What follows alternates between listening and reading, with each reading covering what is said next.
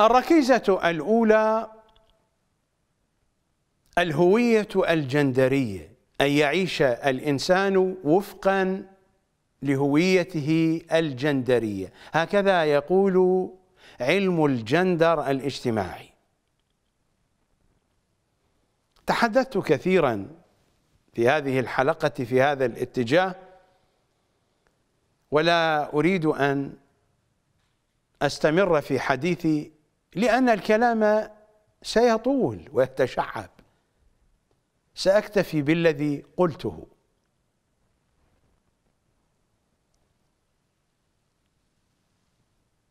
الركيزة الثانية الركيزة الثانية هي ما يؤكد عليها علم الجندر الاجتماعي. تعديل الواقع الاجتماعي. تعديل الواقع الاجتماعي. وإنما يتم هذا من خلال المساواة في الفرص ومن خلال المساواة في الأجور. قطعا أهم الفرص هي فرص التعليم وفرص العمل.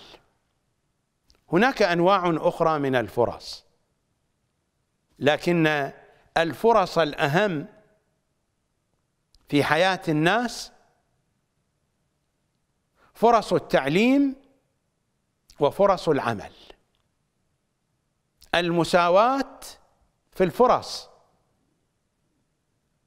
قطعا علم الجندر لا يتحدث هنا عن الرجال والنساء فقط وإنما يتحدث عن كل الهويات الجندرية عن كل الأصناف الجندرية. فعلم الجندر علم يتحدث عن كل المجموعات الجندرية. المساواة في الفرص إنها فرص التعليم وفرص العمل بالدرجة الأولى. المساواة في الأجور. قطعا الأجور إنما تترتب على العمل. فهناك مساواة في التعليم وقطعا هذا التعليم سيقود إلى العمل. بعد التعليم يأتي العمل. فرص في التعليم تحكمها المساواة ثم فرص في العمل تحكمها المساواة ثم تأتينا المساواة في الأجور.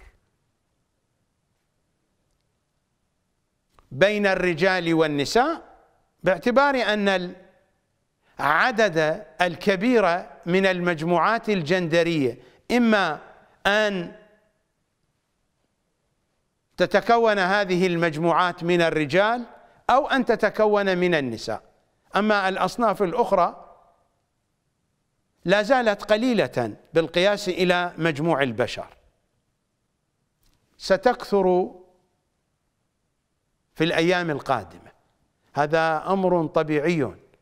فهناك عمل وهناك مخططات وهناك نشاط دؤوب لأجل هذه الغاية.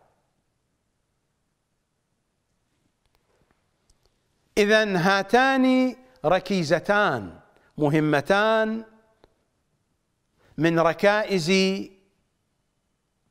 علم الجندر. الركيزة الأولى الهوية الجندرية أن نعيش وفقا لهذه الهوية. الركيزة الثانية أن يكون هناك تعديل للواقع الاجتماعي. لا أن تكون فرص التعليم للرجال فقط أو لمجموعة من المجموعات الجندرية. وكذلك بالنسبة للعمل وكذلك بالنسبة للأجور. فبعد تشخيص الهويه الجندرية وأن الحياة تكون مبنية على أساسها.